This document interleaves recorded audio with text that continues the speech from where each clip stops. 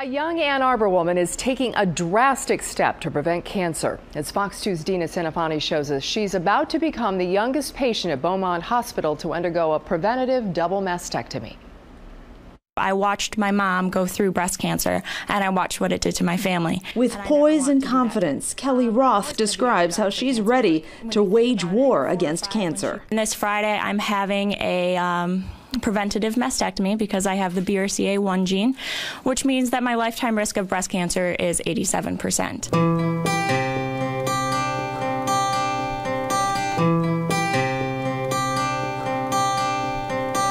Well, I actually was uh, brought to my attention by uh, Mikey Eckstein. He uh, sent me an e email, um, you know, wondering if I'd be, uh, you know, willing to uh, meet this young lady, and um, you know, I said, uh, yeah, sure.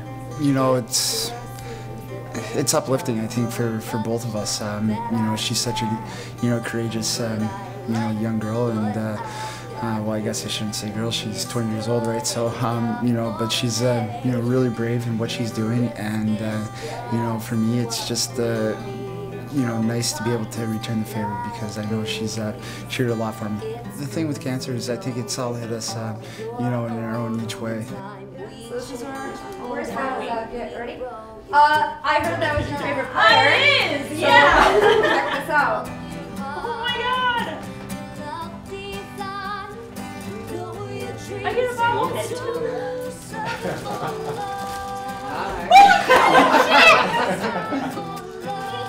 hi!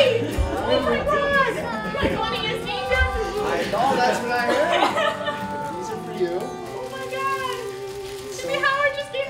Oh my god!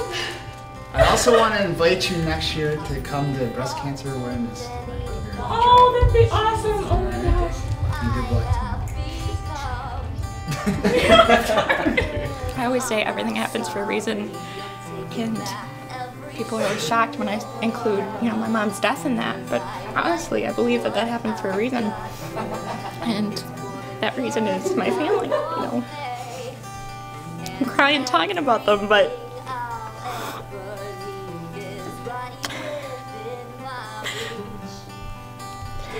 she, uh,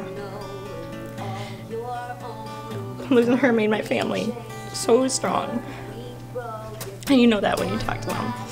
Oh, you know, I always say it's it's, it's a way to cope for me, honestly. Like it, I have the opportunity to help people and to educate people about about this gene and about what's going on and preventative measures and it's it's been it's been a journey. I mean, I get negative comments, of course, but the positive outweigh that a hundred times. Okay, okay, thank you. Thank you so much.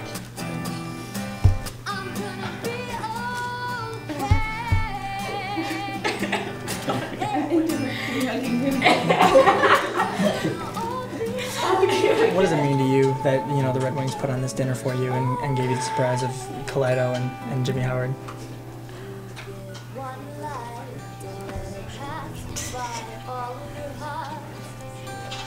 You don't even know.